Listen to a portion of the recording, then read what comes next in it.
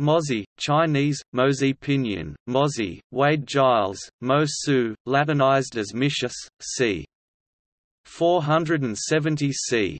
391 BC, original name Mo Dai. Mo Dai was a Chinese philosopher during the Hundred Schools of Thought period early Warring States period. A book named after him, the Mozi, contains material ascribed to him and his followers. Born in what is now Tengzhou, Shandong Province, he founded the school of Mohism that argued strongly against Confucianism and Taoism. His philosophy emphasized self-restraint, self-reflection and authenticity rather than obedience to ritual. During the Warring States period, Mohism was actively developed and practiced in many states but fell out of favor when the legalist Qin dynasty came to power. During that period, many Mohist classics are by many believed to have been ruined when the emperor Qin Shi Huang supposedly carried out the burning of books and burying of scholars. The importance of Mohism further declined when Confucianism became the dominant school of thought during the Han dynasty, until mostly disappearing by the middle of the Western Han dynasty. Mozi is known by children throughout Chinese culture by way of the thousand character classic, which records that he was saddened when he saw dyeing of pure white silk, which embodied his conception of austerity, simplicity, chastity, for the modern juvenile audience of Chinese speakers, the image of his school and its founder were popularized by the animated TV series The Legend of Qin. The concept of Ai was developed by the Chinese philosopher Mozi in the 4th century BC in reaction to Confucianism's benevolent love. Mozi tried to replace what he considered to be the long-entrenched Chinese over-attachment to family and clan structures with the concept of universal love.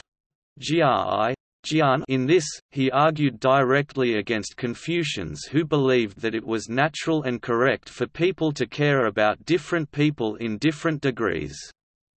Mozi, by contrast, believed people in principle should care for all people equally. Mohism stressed that rather than adopting different attitudes towards different people, love should be unconditional and offered to everyone without regard to reciprocation, not just to friends, family and other Confucian relations. Later in Chinese Buddhism, the term Ai I was adopted to refer to a passionate caring love and was considered a fundamental desire. In Buddhism, Ai was seen as capable of being either selfish or selfless, the latter being a key element towards enlightenment.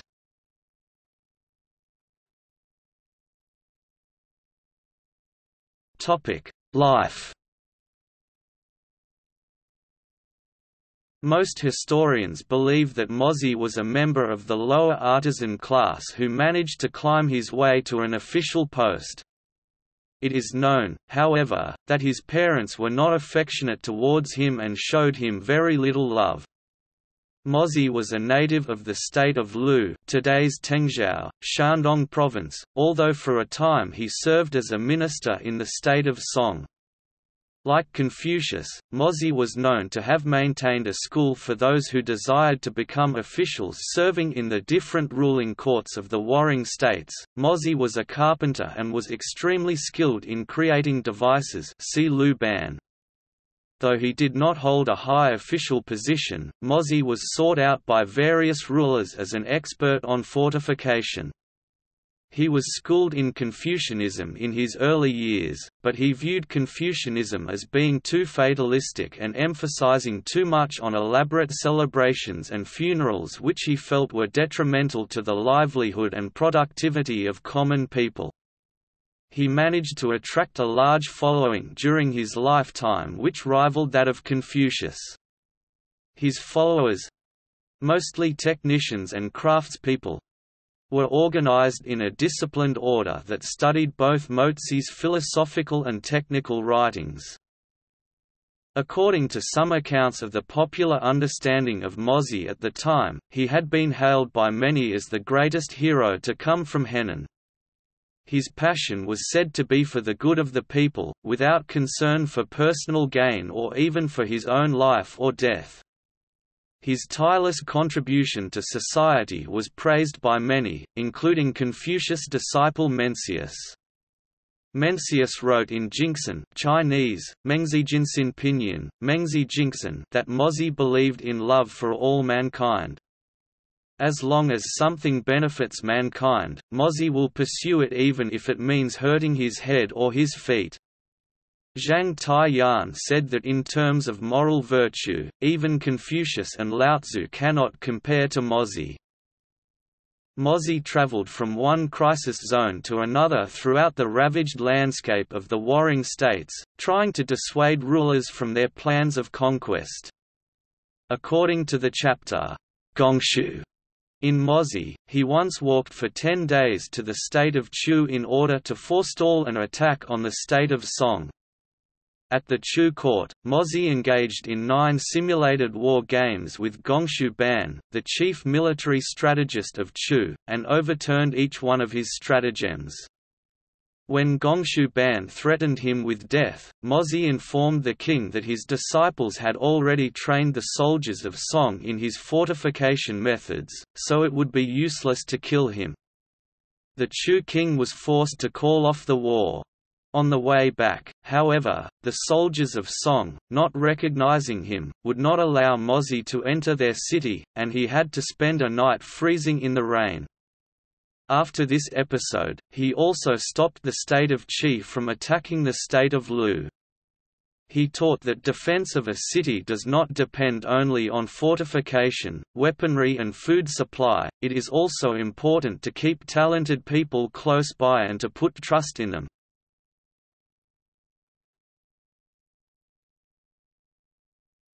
Topic: Philosophy.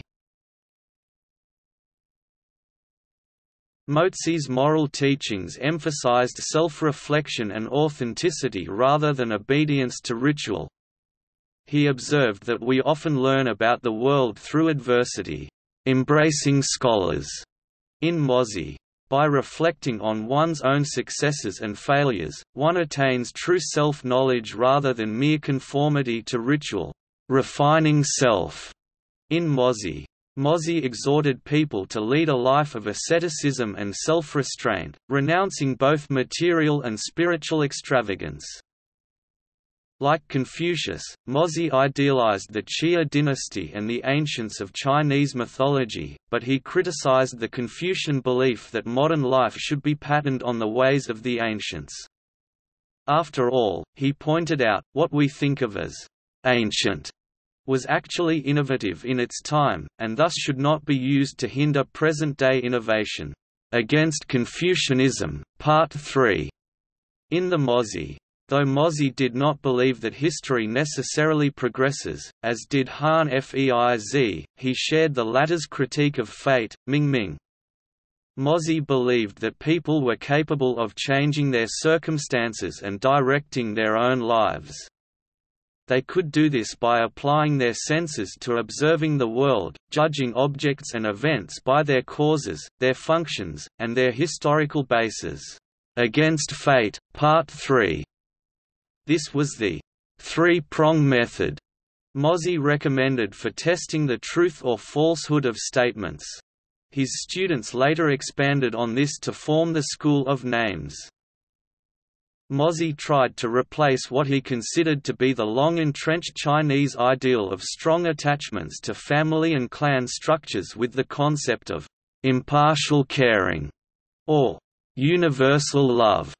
He argued directly against Confucians, who had philosophized that it was natural and correct for people to care about different people in different degrees. Mozi, in contrast, argued that people in principle should care for all people equally, a notion that philosophers in other schools found absurd, as they interpreted this notion as implying no special amount of care or duty towards one's parents and family. Overlooked by those critics, however, is a passage in the chapter on self-cultivation, which states, when people nearby are not befriended, there is no use endeavoring to attract those at a distance. This point is also precisely articulated by a mohist in a debate with Mencius in the Mencius, where the mohist argues in relation to carrying out universal love, that, "...we begin with what is near." Also, in the first chapter of the writings of Mozi on universal love, Mozi argues that the best way of being filial to one's parents is to be filial to the parents of others. The foundational principle is that benevolence, as well as malevolence, is requited, and that one will be treated by others as one treats others. Mozi quotes a popular passage from the Book of Odes to bring home this point. When one throws to me a peach, I return to him a plum. One's parents will be treated by others as one treats the parents of others. In pursuing this line of argument, Mozi was directly appealing to the idea of enlightened self-interest in social relations. Also of note is the fact that Mozi differentiated between «intention» and «actuality» thereby placing a central importance on the will to love, even though in practice it may very well be impossible to bring benefit to everyone. In addition, Mozi argued that benevolence comes to human beings, "...as naturally as fire turns upward or water turns downward." provided that persons in positions of authority illustrate benevolence in their own lives. In differentiating between the ideas of «universal» and «differential» b. Mozi said that «universal» comes from righteousness while «differential» entails human effort. Furthermore, Mozi's basic argument concerning universal love asserts that universal love is supremely practical, and this argument was directed against those who objected that such love could not be put into practice. Mozi also held a belief in the power of ghosts and spirits, although he is often thought to have only worshipped them pragmatically. In fact, in his discussion on ghosts and spirits, he remarks that even if they did not exist, communal gatherings for the sake of making sacrificial offering would play a role in strengthening social bonds. Furthermore, for Mozi the will of heaven tian tian, was that people should love one another, and that mutual love by all would bring benefit to all. Therefore, it was in everyone's interest that they love others as they love themselves. Heaven should be respected because failing to do so would subject one to punishment.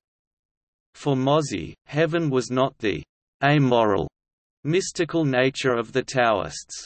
Rather, it was a benevolent, moral force that rewarded good and punished evil. Similar in some ways to the Abrahamic religions, Mozi believed that all living things live in a realm ruled by heaven, and heaven has a will which is independent from and higher than the will of man. Thus he writes that, "...universal love is the way of heaven."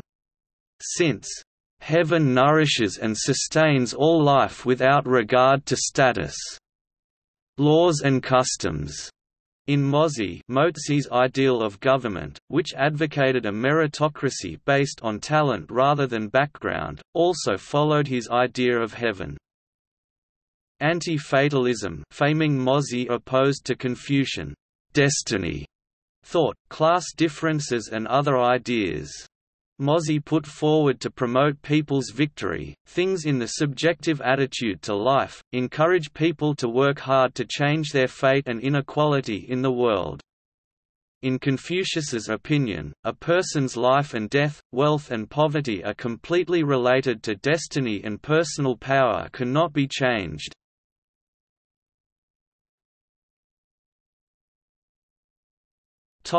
Ethics What is the purpose of houses? It is to protect us from the wind and cold of winter, the heat and rain of summer, and to keep out robbers and thieves. Once these ends have been secured, that is all. Whatever does not contribute to these ends should be eliminated. Mohist ethics are considered a form of consequentialism, sometimes called state consequentialism.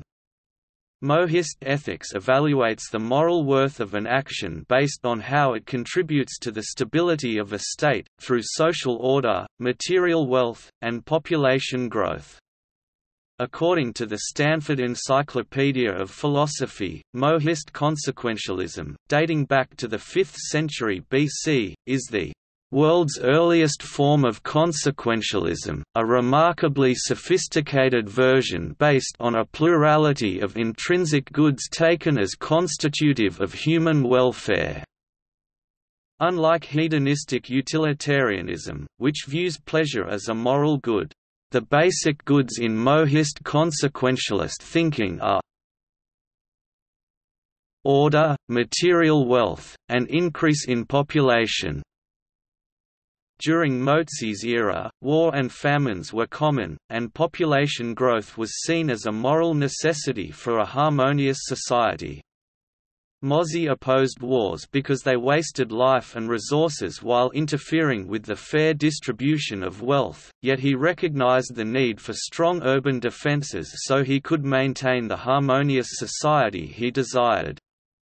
The material wealth of Mohist consequentialism refers to basic needs like shelter and clothing, and the order of Mohist consequentialism refers to Mozi's stance against warfare and violence, which he viewed as pointless and a threat to social stability.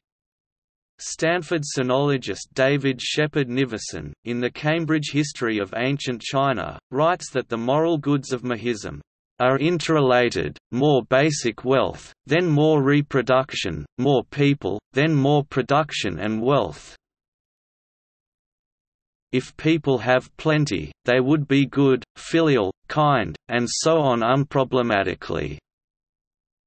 In contrast to Jeremy Bentham, Mozi did not believe that individual happiness was important, the consequences of the state outweigh the consequences of individual actions. Mozi tended to evaluate actions based on whether they provide benefit to the people, which he measured in terms of an enlarged population states were sparsely populated in his day, a prosperous economy, and social order.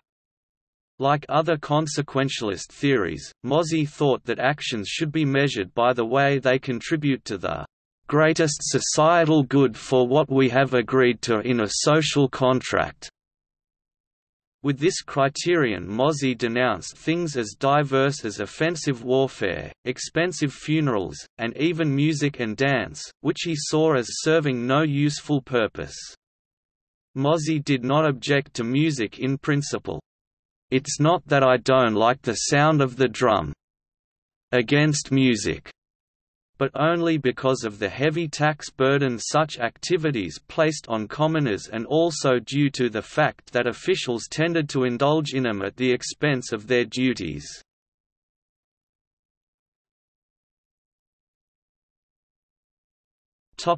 Works and influence Mozi is also the name of the philosophical text compiled by Mohists from Mozi's thought. This text originally consisted of 71 chapters. During the Han dynasty Confucianism dominated China. As Mohism is against Confucianism, the text, Mozi, was neglected. During the Song dynasty, only 61 chapters were left, Today, we have only 53 chapters through which we attempt to understand this school of thought, as compiled by Sun Yirang.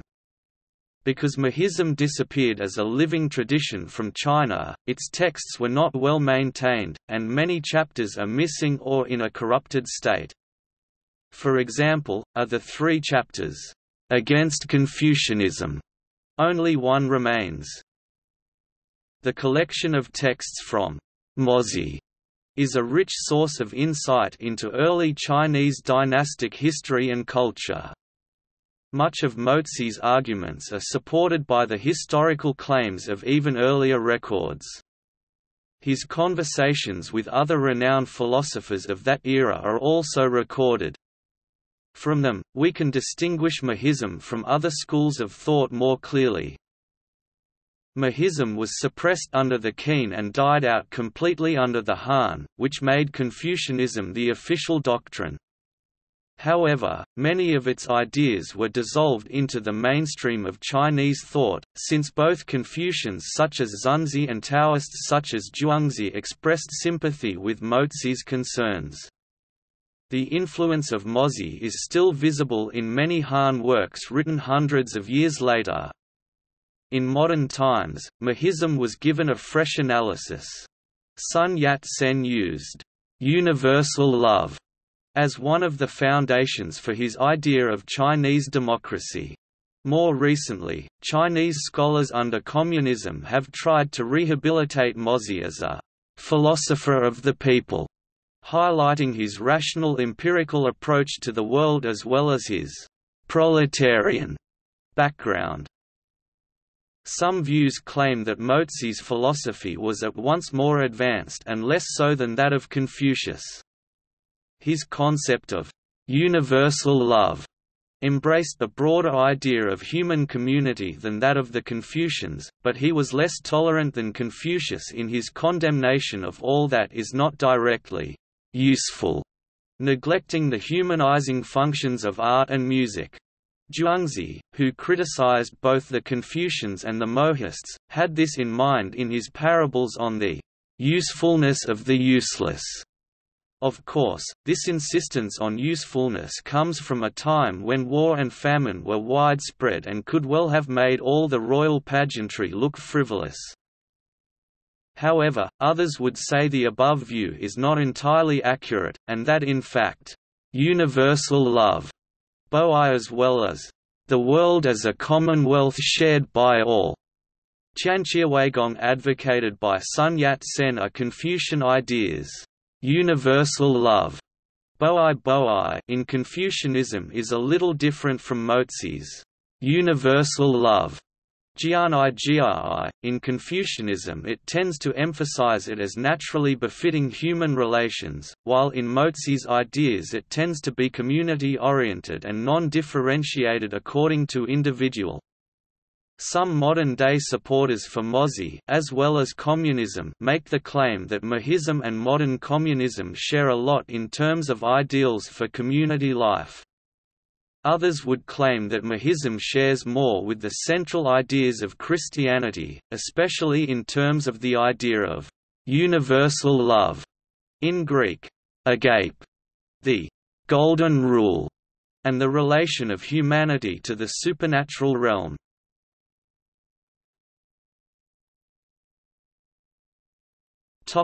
Mohism and science.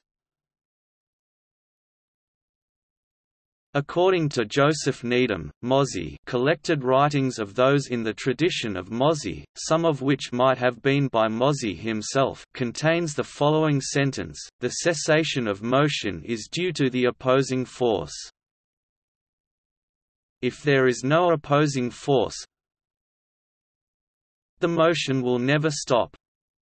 This is as true as that an ox is not a horse, which, he claims, is a precursor to Newton's first law of motion. Mozi also contains speculations in optics and mechanics that are similarly strikingly original, although their ideas were not taken up by later Chinese philosophers. The Mohist tradition is also highly unusual in Chinese thought in that it devoted time to developing principles of logic.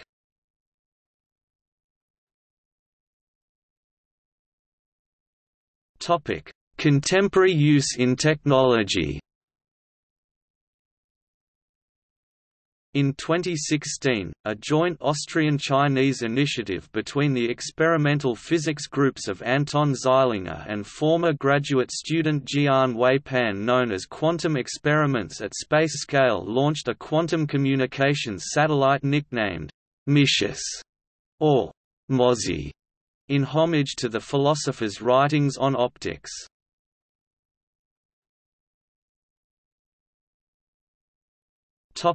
See also A Battle of Wits, a historical film based around Mohism History of geometry. List of people on stamps of the People's Republic of China Fa, an influential concept elaborated by Mozi.